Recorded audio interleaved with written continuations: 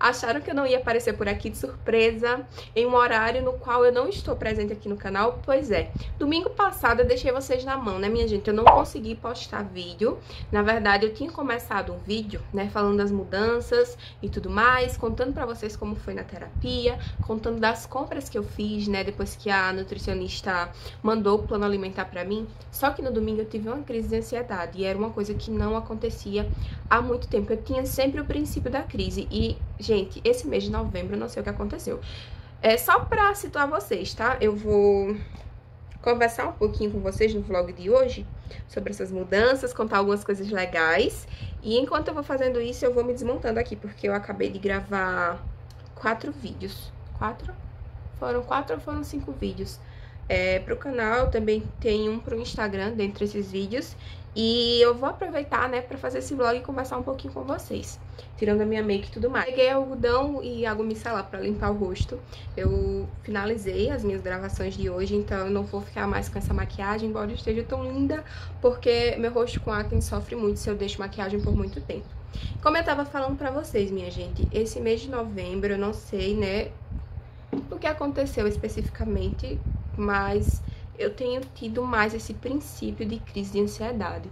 Eu não sei se vocês já ouviram falar nisso, se vocês passam por isso, mas sabe quando você já acorda e sente que o seu corpo ele está ansioso e que você pode ter uma crise? Eu sei que é, eu me cobro muito, sabe, com essa questão do trabalho e a minha rotina estava bem desequilibrada, porque trabalhar em casa é muito complicado. Eu não sei se vocês passam por isso, talvez é, durante a pandemia, né, com home office, vocês podem ter tido essa experiência.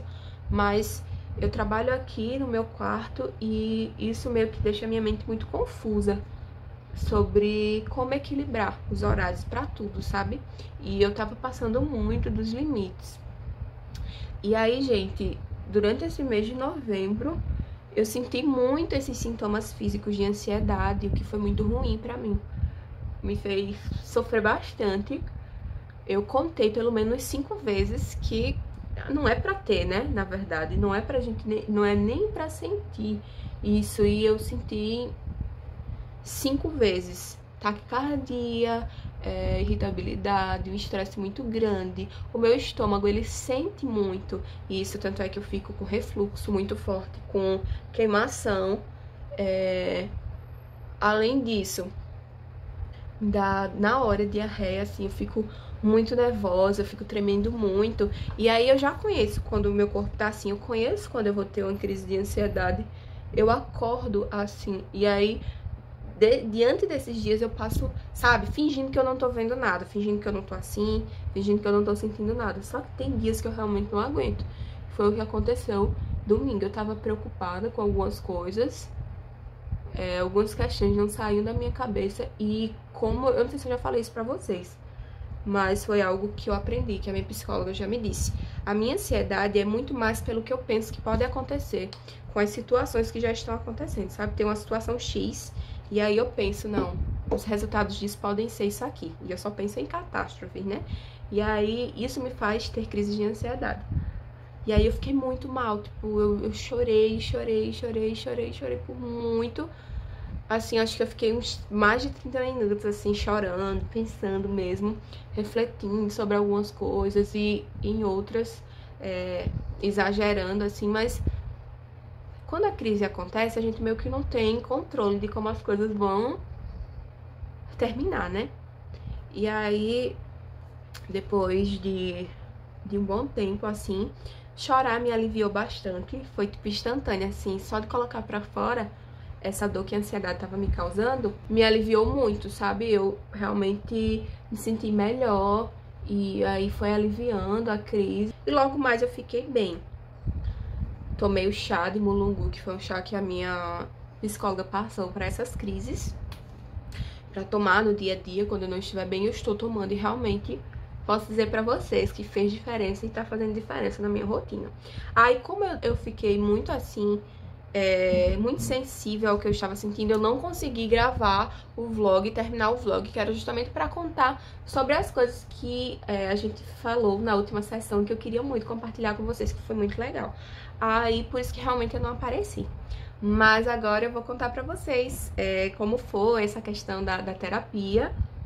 Eu tava em Maceió e eu vou pra Maceió a cada 15 dias pra ver meu noivo e seus familiares, pra estar com ele também, pra ir pra terapia, né?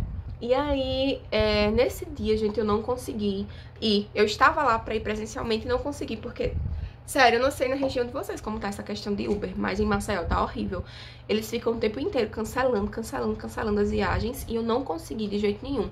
Quatro cancelaram, não consegui chegar no consultório e a gente fez é, online mesmo. Ela tinha até preparado o material pra gente trabalhar. Ela tinha dito pra mim que iria trabalhar, né, a raiz dos meus traumas, da minha ansiedade, dos meus problemas, voltando muito mais pra essa questão do passado.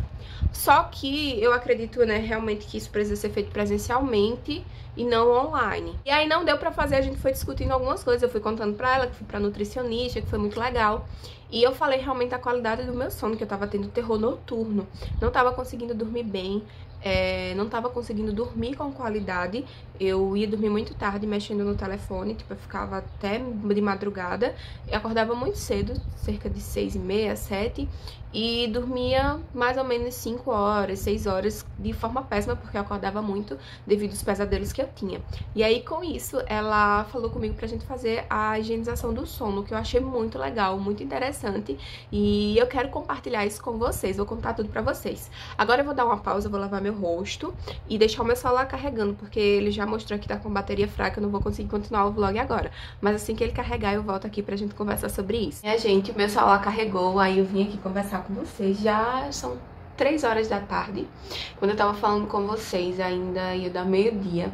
E aí eu fiz várias coisas, almocei, lavei louça e fiquei um tempão olhando TikTok. Eu disse, tem um vlog pra continuar.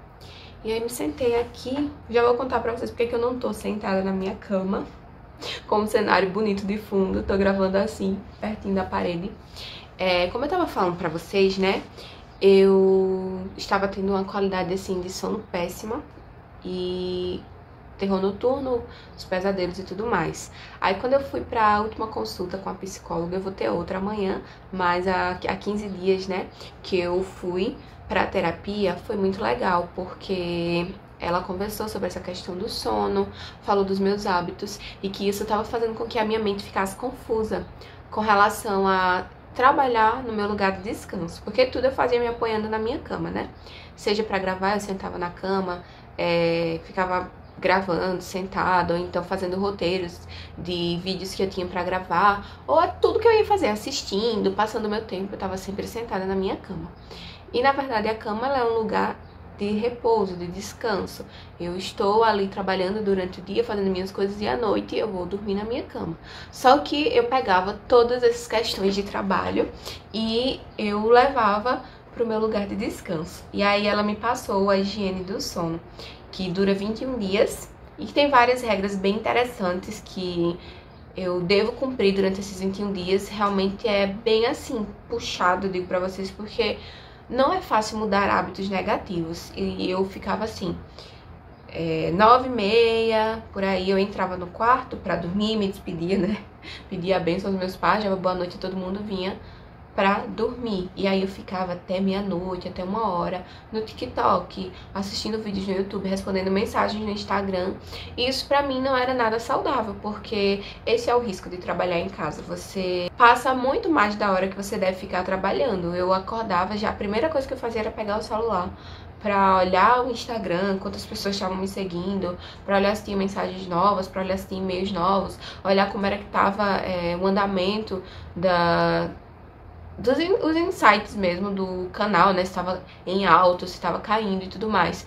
E isso meio que estava me deixando doente, porque eu vivi igual zumbi, dormia e acordava só pra isso. E aí uma das coisas que eu não posso fazer, né, durante esses 21 dias é usar minha cama para qualquer outra coisa que não seja dormir. E aí, isso tem sido mais difícil para mim, porque tudo eu fazia me apoiando na minha cama, e agora eu não posso mais é, agir dessa maneira, né? Por isso que eu tô procurando outros lugares para gravar. Vocês percebem que quando eu tô ali perto da janela, eu não fico sentada. Dá pra ver muito mais a, a prateleira que tem acima da cama, porque eu fico gravando em pé. Quando eu não gravo lá, eu gravo na sala, sentada no chão. E eu então pego um banco, monto um cenário, alguma coisa porque eu realmente não posso ficar na minha cama. E aí eu acho que tem que uma semana, porque quando eu fui pra lá, eu fiquei alguns dias em Maceió e aí eu não quis começar lá, eu queria começar realmente quando eu voltasse pra casa. E aí eu acho que tem nove oito dias que eu comecei essa higiene do sono. E os primeiros dias não são fáceis. E aí ela sempre fala muito sobre não é, assistir nada que seja estimulante, né? Perto da hora de dormir, seja filme de terror, ação, filmes de suspense, para não ler perto da hora de dormir, para não fazer atividade física é, para não tomar nada assim perto da hora de dormir, para você não ficar acordando durante a noite. Ela fala para você sempre deixar o seu ambiente, o lugar que você mais fica, muito iluminado, se tiver janelas por perto, deixar aberto, para que o seu corpo entenda que é o dia, tá claro. É o momento em que você tá fazendo suas coisas, que você tá trabalhando, tá produzindo. E aí, quando vai anoitecendo, quando vai escurecendo, o seu corpo também vai entendendo que já tá na hora de descansar, já tá na hora de parar. E aí eu vi que realmente isso funciona muito bem. Estava tudo desregulado, gente. Meu intestino estava mal. Tava, eu, sério, muito ruim. A minha alimentação estava ruim. O meu sono estava péssimo. Eu estava tendo muitas crises de ansiedade. Isso prejudicava o meu corpo. Meu estômago vivia doendo e ainda dói, assim, quando eu tô com crise de ansiedade. Mas é, tudo isso está sendo reduzido. E aí eu achei muito interessante essa questão da higiene do sono. É, ela sempre fala também se você for para é, ter o hábito de dormir no mesmo horário todos os dias, dormir e acordar, não dormir mais que 8 horas, somente o necessário para o corpo descansar bem. Se ficar é, bolando na cama quando você for deitar, não tá conseguindo dormir, levanta, vai fazer alguma coisa, seja ler, seja assistir uma coisa leve, e quando vê que tá voltando sono, vai pra cama e fica.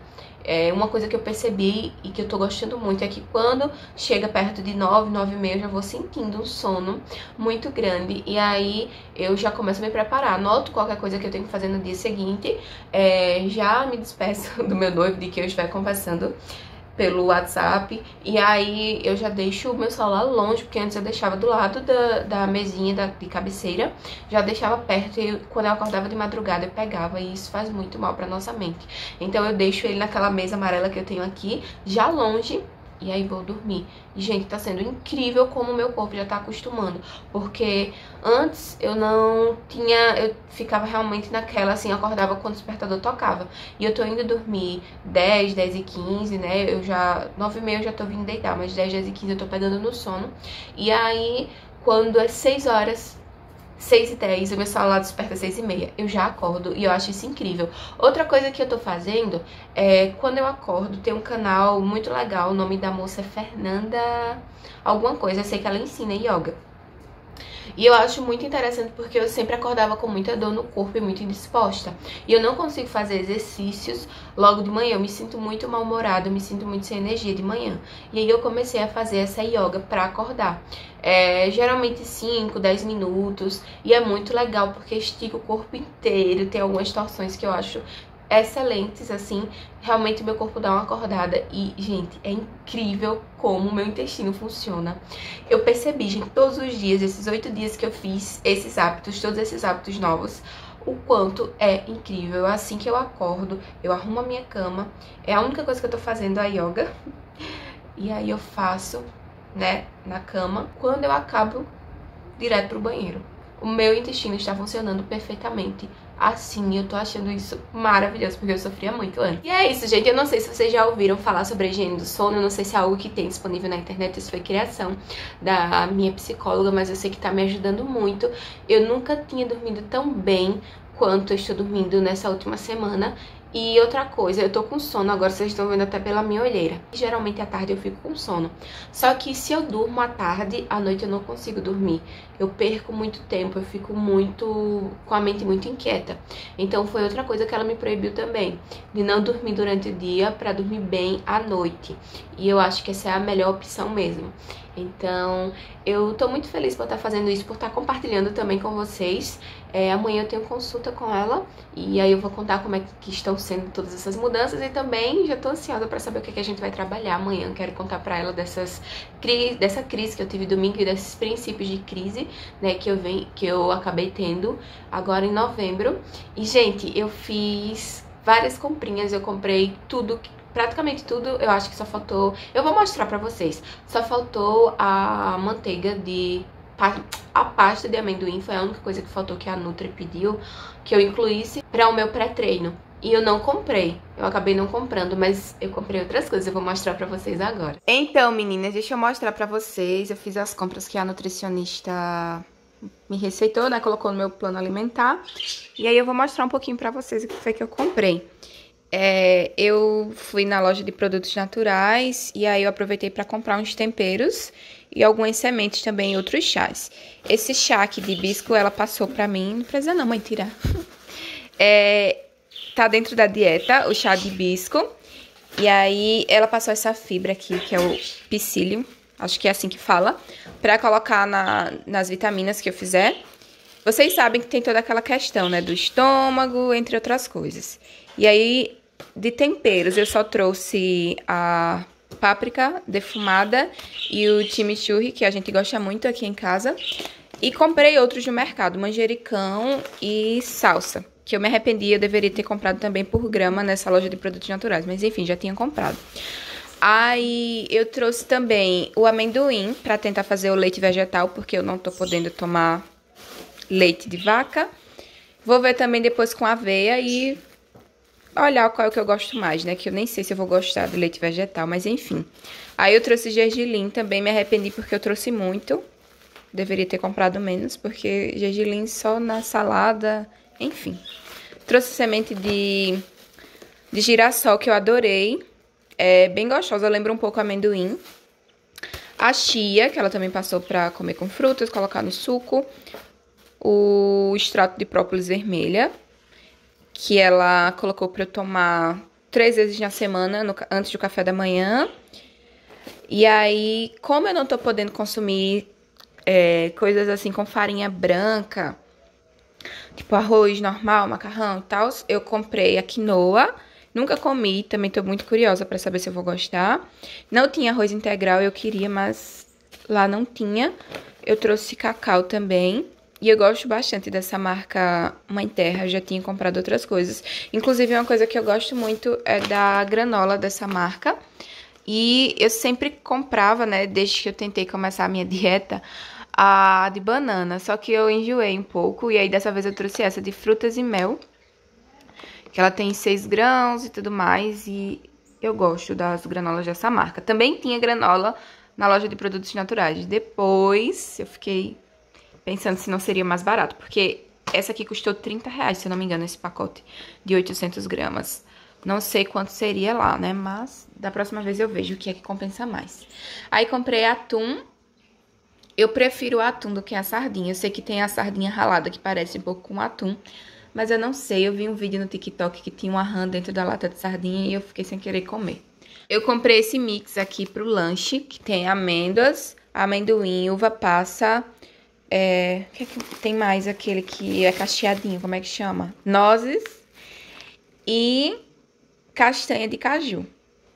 Um de cada no lanche com fruta. Aí eu não comprei muito. Além disso, eu comprei também linhaça. Comprei a dourada.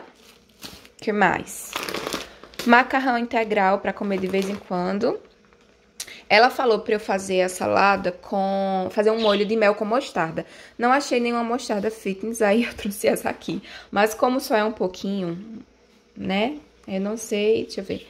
Não tem a tabela, tem uma colher de sopa, 9 calorias.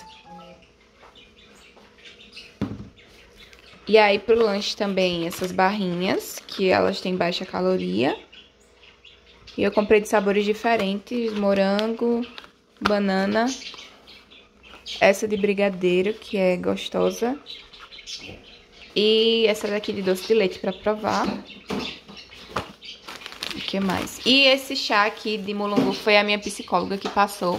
Ele é calmante também para ansiedade, crise de pânico. Eu tomei ontem antes de dormir e fiquei bem relaxada. Foi dando sono rápido, que eu tenho...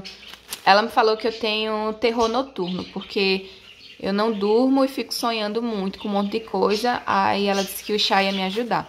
Porque a Nutri me passou um floral, só que a minha psicóloga acha que não é necessário a introdução de nenhum fármaco agora. Ela prefere que eu tome chás. Então, foram essas as coisas. Sim, minha gente, esqueci de mostrar pra vocês. Aí comprei também esses vegetais congelados. Ervilha, é, brócolis e couve-flor. E ela me passou também esse suplemento picolinato de cromo.